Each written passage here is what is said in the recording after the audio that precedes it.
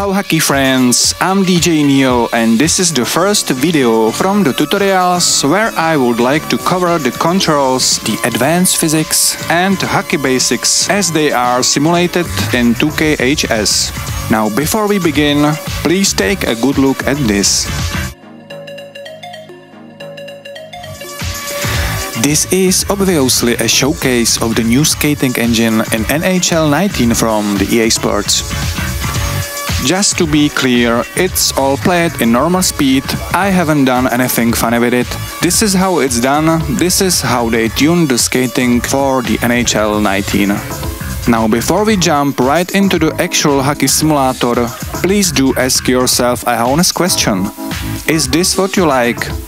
Do you feel that players in the real world move their body like that? Is this what you see right now something that you would consider as fun? Don't feel ashamed because of it. I know there are people that love it, especially on the EA's forums. Now, if the answer is yes, please turn off this video right now and hit unsubscribe. Okay, that was a little extreme, but seriously, if that's what you like, you will be pretty unhappy with what I try to accomplish with the 2K Hockey Simulator. So save yourself a time and frustration, don't bother with the Hockey Simulator. It will be too slow, too long, too sluggish, not responsive or whatever, and probably too hard to. Now, for those that are still watching after this, let's have some fun, but our way. Here is the skating drill. Enjoy. Skating is different from walking or running. When you skate, your weight isn't on your toes, it's on the balls of your feet. And you don't push back with your legs and skates, you push to the side. Your body's balanced, head is up, knees are always slightly bent. The power comes from your thighs and from digging in with those inside edges. You push off one leg, then the other.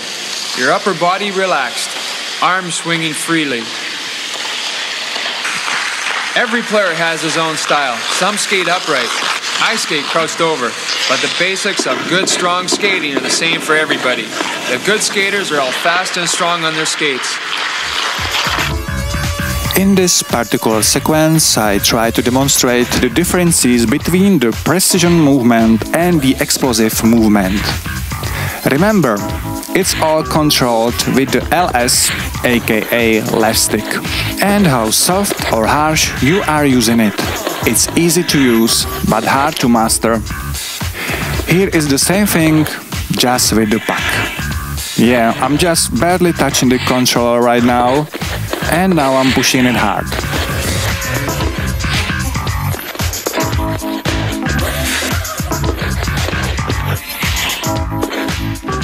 Brett and I are going to show you one more important aspect of skating, right?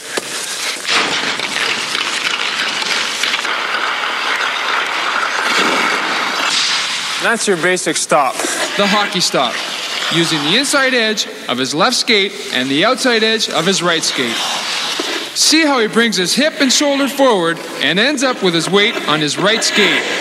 That's the hockey stop. I skated in circles a lot when I was a kid, with and without a puck, first turning one way, then the other. As hockey players, we're all stronger one way, to our right or to our left. So practice more on your weaker direction. It'll help improve your game. Before we learn crossovers, we should look at the basic glide turn. Turning to the left like this, you drop your left shoulder. You lean to the left, you dig in with the outside edge of your left skate. You bend your left leg, your right leg, and your body just follow. By crossing one foot over the other, you will pick up speed on a turn. So you dig in with the outside edge of your inside skate. Then push off the inside edge of your outside skate and cross that foot over. We've seen some basic skating drills to help your skating and to help your turning. But remember, without the puck and without the stick, you can't play hockey. So every now and then, pick up the stick and pick up a puck and have some fun. We've talked about how important skating is, and we've discussed some of the very important ingredients to becoming a good skater. Especially forward skating, being on the balls of your feet, balance, making sure you're in a proper hockey stance. Now we should get into some backward skating, especially for oh, Kevin.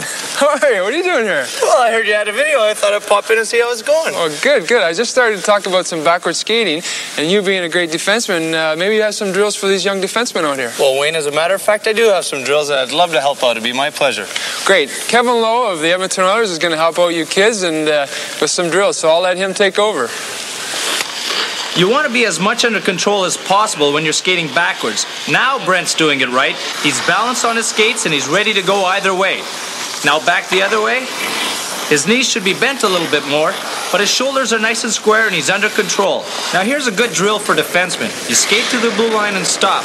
Back pedal to the far blue line and pivot to the boards, skating into the corner. You stop, take off forwards to the blue line, pivot again, and backwards to the far blue line, snowplow stop, and you take off forward to the other blue line. In a game, a defenseman has to make all these moves forwards, stop, backwards, pivot, turn, and so on. In practice, I try to skate backwards as much as possible and to practice pivoting both ways. Even as a professional, you have to keep working on your weaker side if you want to improve. I'm like Wayne. I like to have my skates as sharp as possible for all the turning and stopping, especially in the corners. Skating, both frontwards and backwards, as you've seen, is very important in being a good hockey player. Remember, work on some of the basic fundamentals that we've gone over. But remember also, you don't have to be a pretty skater to be a good skater. Well, there are still some fine tuning that I would love to do with the physics, uh, with the skating, especially with the accelerations, but uh, I think it's already pretty good. Yeah, definitely much better than it was before.